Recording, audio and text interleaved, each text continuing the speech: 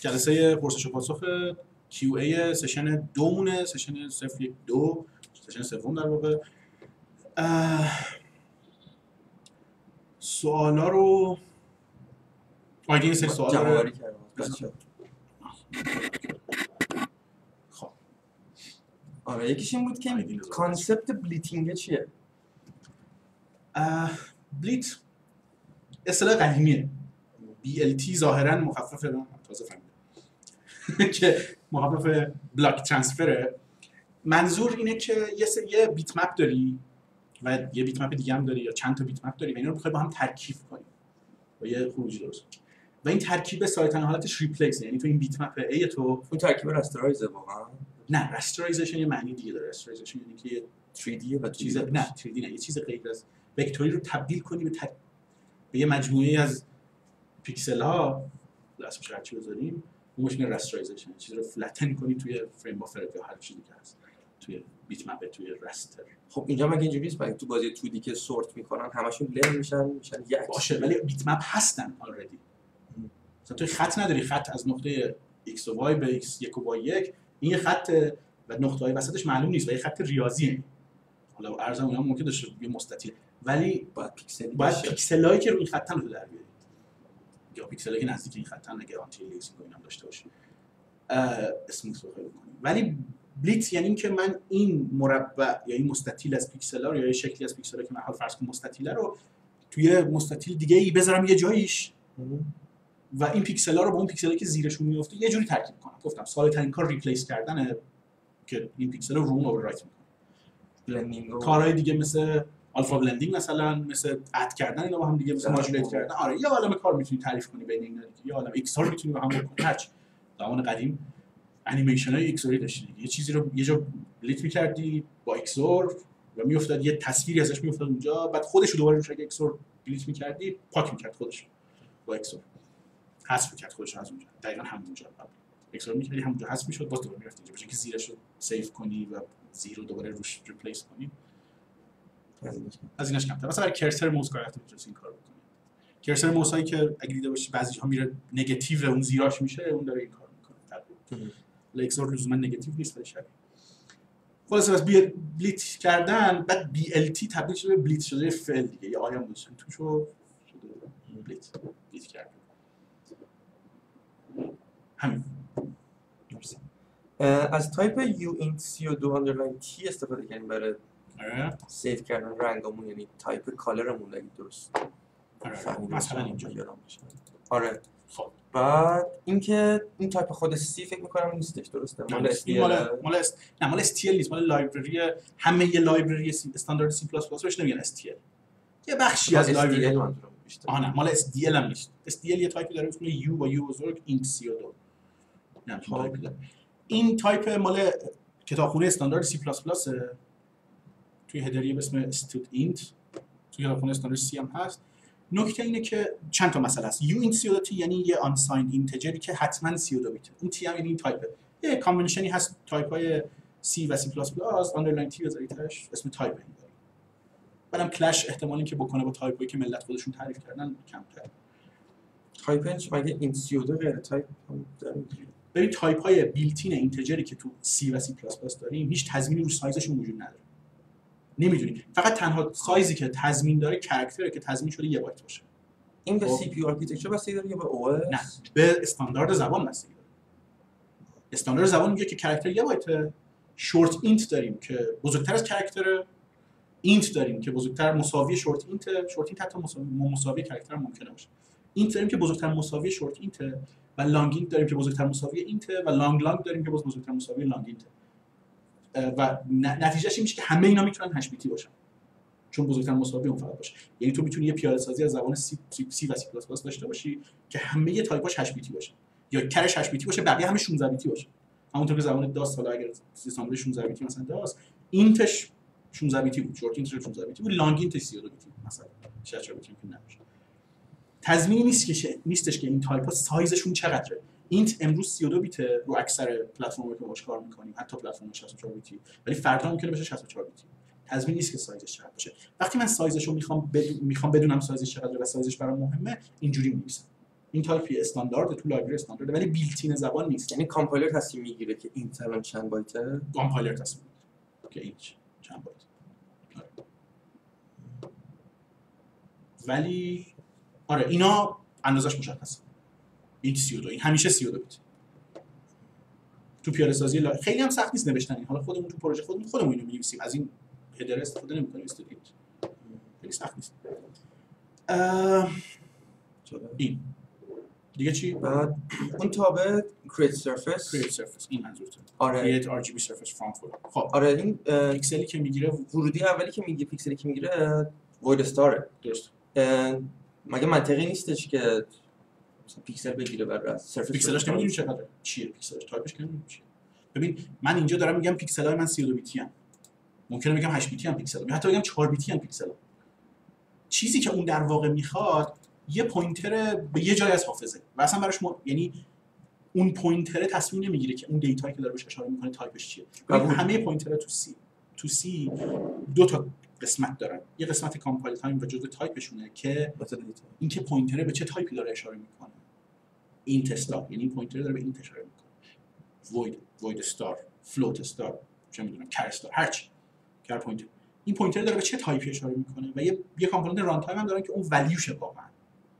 که چه value ی توشه. و اون value بین int star و char star هیچ فرقی نمی‌کنه. یه آدرس حافظه است. ولی کامپایلر زمان compile time چون می‌دونه این int star رو و داره به این اشاره می‌کنه تا وقتی میگی star این dereference ش می‌کنی می‌فهمی که داره یه int برمیگردونه و عنوان int باش برخورد می‌کنه. حالا گاهی وقتا هستش که ما برامون مهم نیست یا نمی‌دونیم یا نمی‌خوایم بدونیم که اون جایی که داریم بهش اشاره می‌کنیم چیه توش فقط می‌خوایم یه آدرس حافظه پاس بدیم و اونجا از void star استفاده می‌کنیم ولی این بدیش این به نظر من اینه که جلوی اشتباه نمی‌گیره دیگه می‌تونی مثلا mesh 3D بهش بدی و این یعنی موقع compile time یعنی نمی‌فهمی که. این تایپ. اشتباهه درست. اگه مثلا یه تایپ ایمیج تور داشتیم که مثلا خب surface همینه دیگه نه برای ورودیش میگم ها خب surface آخه همین یه void star باشه مثلا قبول. general یه image جایی این باید تموم شه. ببین اون که کره زمین رو دوشه فیله فیله رو دوشه لاک پشته این لاک پشته رو چیه؟ لاک پشته رو رو دوشه لاک پشته دیگه است لاک پشته دوشه. بالاخره یه جایی باید این تموم شه. بالاخره یه دی... یه op... operation ی باید داشته باشیم که از data خام که از هر جایی ممکن اومده باشه از فایل ممکن اومده باشه از memory اومده باشه از network گرفته باشه از هر جایی از گور اومده باشه. از data خام یه همون image type توری که تو میگی رو بسازه. که این surface SDL underline surface دقیقا همون image type تور چیزیه که تو میگی. و اون void star ی که می‌خواستی اون data خام. بالاخره یکی باید از data خام اینو بسازه. چون بالاخره data تو data خام. تو فایل که header و مدر اینا که data خام دیگه. وقتی از فایل data رو می‌خونه تو data خام میاد. مثلا.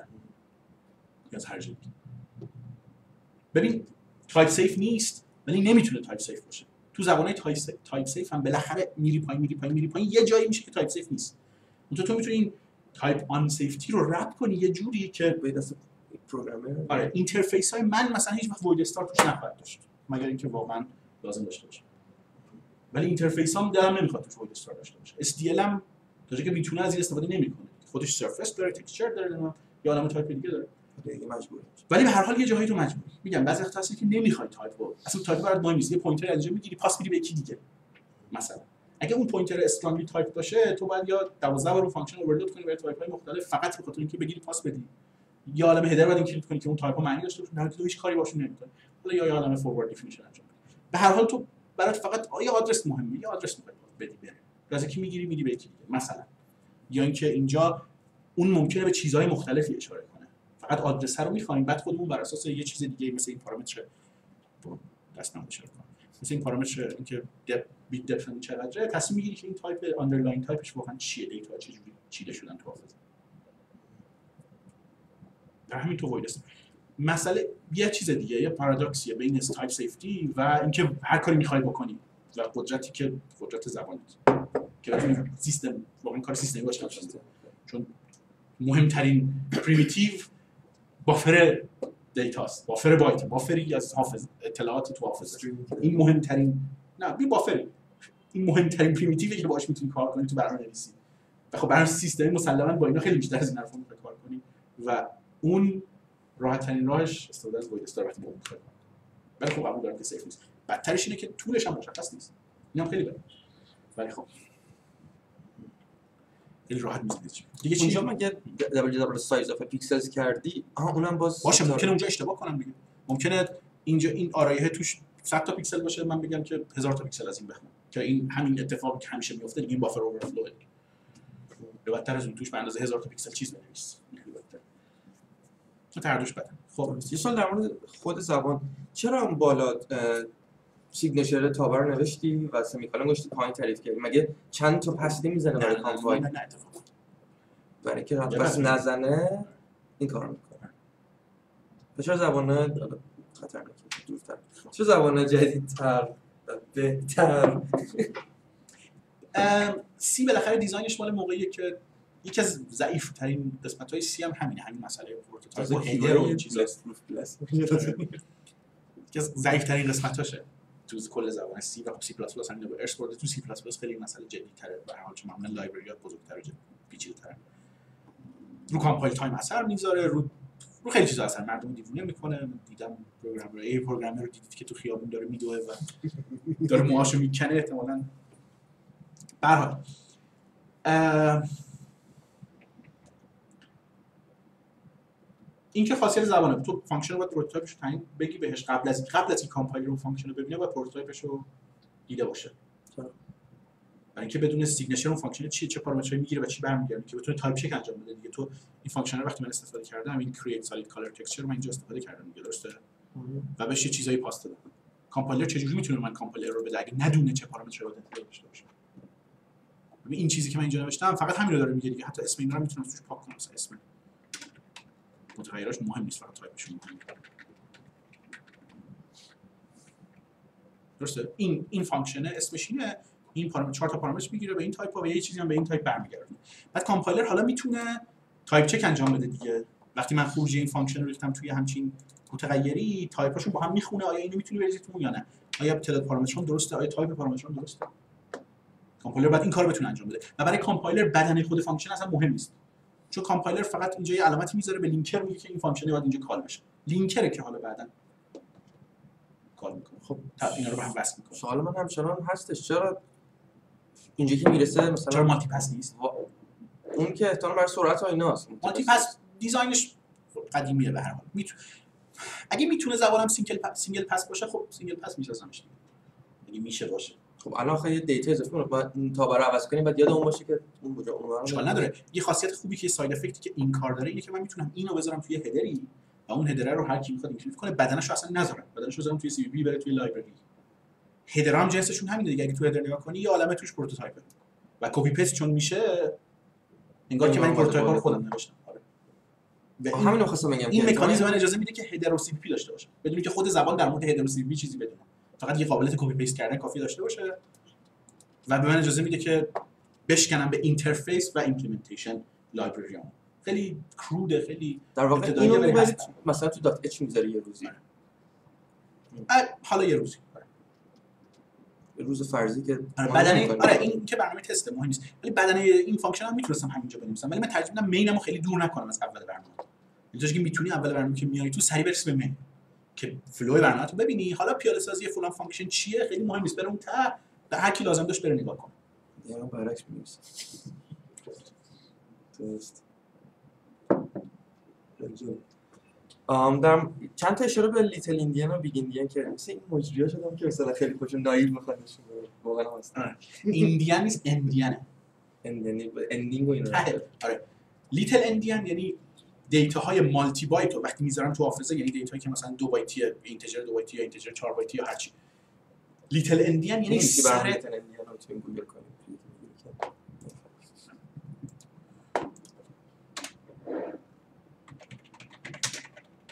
endian middle endian که نداریم. و big endian فکر کنم می‌تونم اینا رو باید با dash بینشون بنویسم ولی برم به این میگن endianness که architecture little endian یا big endian ه بهش میگن endianness endianness این architecture چیه؟ big endian اون روشیه که تو انتظار داری data تو حافظه باشه. اگه یا data 4 بایتی تو حافظه است تو حافظه چیده میشه انتظار داری بایت اولش بایت اولی که تو می‌بینی بایتی که آدرسش کمتره. بایت پر ارزشه باشه. بایت اولش بایت پر ارزش هست بعد بایت بعدی بعد بایت بعدی بعدم بایت کم ارزش کم ارزش آخر باشه. این big endian ه سر big endian یعنی سر big ش سر پر ارزشش اوله. یعنی اول سر پر ارزشش سر big ش رو می‌بینی. little endian یعنی اول سر کم سر کوچولوش رو می‌بینی. سر بزرگش این تر. little endian یعنی اینکه بایت کم ارزش اول اینجاست. مثلا عدد فرض کن هست اه، 257 چون 257 و دو بایتی عدد. 257 یه بایت 250 خیلی مثال بدی بود 257 چون هر دو بایتش میشه یک.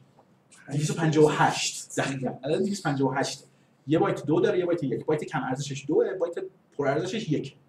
توی architecture big endian تو حافظه اگه نگاه کنی اول بایت یک رو می‌بینی که value ش یکه بعد بایتی که value ش دو رو می‌بینی.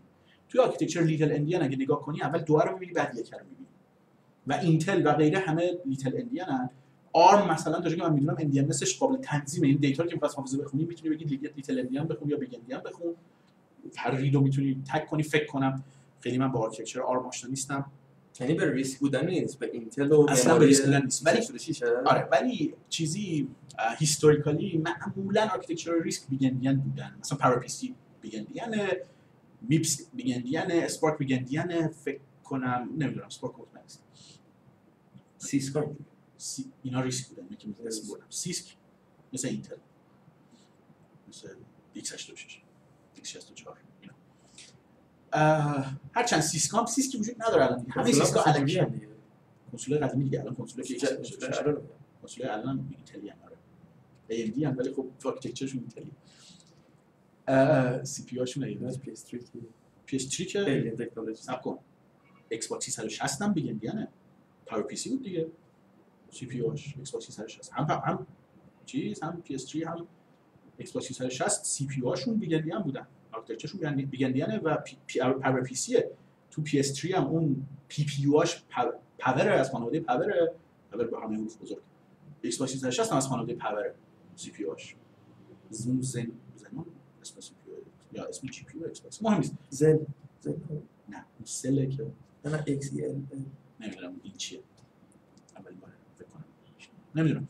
به هر حال پس فرق اندیان لیتل اندیان اینه لیتل اندیان یه خاصیت خوبی که داره اینه که اگه توی دیتای بزرگ داشته باشی مثلا دیتای 4 بایتی داشته باشی بعد اتوماتیک کستش آدرسش رو کست کنی بگی اینجا حافظه درسته که دیتای 4 بایتی من نوشتم ولی می‌خوام به عنوان یه دیتای 2 بایتی رو بخونم همون آدرس حافظه دو بایت پایینش میاد یعنی طبیعی تر cast میشه. خب portability این که خیلی وحشتناکه چی؟ کد چون این تو دیتا memory اینجوریه. ها. ببین تو memory اینجوریه. خب ما هم همینجوری نوشتیم الان. یعنی ما رنگامون رو اینجوری گذاشتیم. نه نه. رنگامون رو من اول در مورد endian صحبت کردم اشتباه بود اصلا. الان مشکلمون endian نیست. endianness نیست. الان. نگرانش نباش خب من هر جا دیگه که تو پی سی دیدم RGBA بوده. یعنی RGB و A. به همین ترتیب نوشته می شده و خونده می شده به یه بار اینا رو برعکس خود. اشتباه بود اولا. دو من اینجا رو الان نگاه کن R G درست. B A هم که اصلا نداریم توی مسکن. می‌تونست A R G B باشه. A رو می‌تونستم بذارم اینجا. ولی اینکه تو حافظه اینا به چه ترتیبیان فعلا برای من مهم نیست دیگه. چون من اینا رو دارم به صورت سی... ببین تو دیتا رو اگه با یه اندازه بنویسی با همون اندازه هم بخونی نگران endianness نباید باشی. اگه 4 بای 4 بایت بنویسی و 4 بای 4 بایت بخونی رو همون architecture نگران endianness نباید باشی. اگر آره از تو memory مستقیم dump کنی توی فایل بایت بایت دیگه بخون بعد بری روی architecture دیگه بخوای بخونی اونجا مشکل داری دیگه طبیعتا. باید برای فایل فرمت ها باید نگران endianness خیلی جدی باشی. و تو memory هم حتی اگه دیتا رو 4 بای 4 بایت بنویسی بعد بخوای یه بایت یه بایت بخونی. یا یه بایت بایت بنویسی بخوای 4 بای 4 بایت بخونی اون وقت باید نگران endianness باشی. یعنی یه بایت بایت بنویسی به صورت یه عدد 4 بایتی بخونی مثلا یه دیتا 4 بایتی بخونی نه صورت 4 تا یه بایت بزنی فرق نمی‌کنه.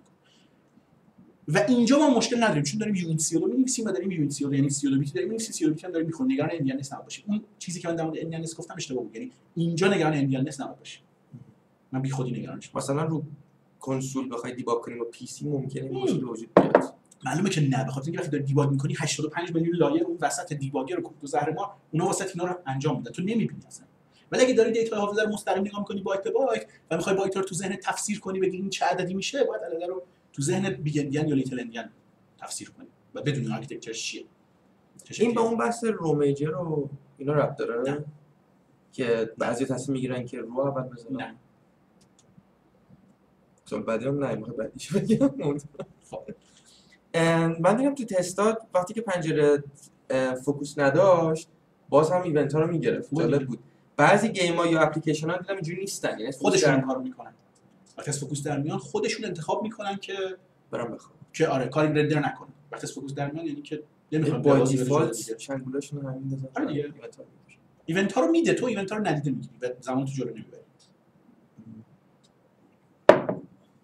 مثلا بعضی game ها که مثلا Alt Tab می‌زنی آهنگشون داره پخش میشه هنوز در حال اجرا بعضی وای میسته بعضی آره. crash. پارامترهای توابع تو سی پلاس پلاس می‌تونن value default داشته باشن؟